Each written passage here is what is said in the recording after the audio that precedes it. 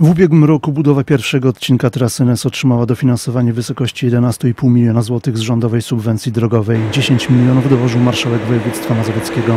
Teraz inwestycja otrzymała także z rządowej subwencji drogowej dofinansowanie w kwocie blisko 8,5 miliona złotych. Jak informuje prezydent Radosław Witkowski, lista drogowych inwestycji, które otrzymały dofinansowanie, czeka już tylko na podpis ministra infrastruktury.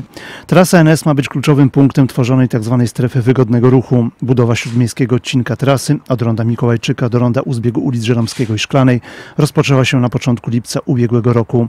Za budowę pierwszego odcinka trasy NS odpowiada konsorcjum firm Inżynieria Rzeszów i Budromost Starachowice. Koszt inwestycji to około 34,5 miliona złotych.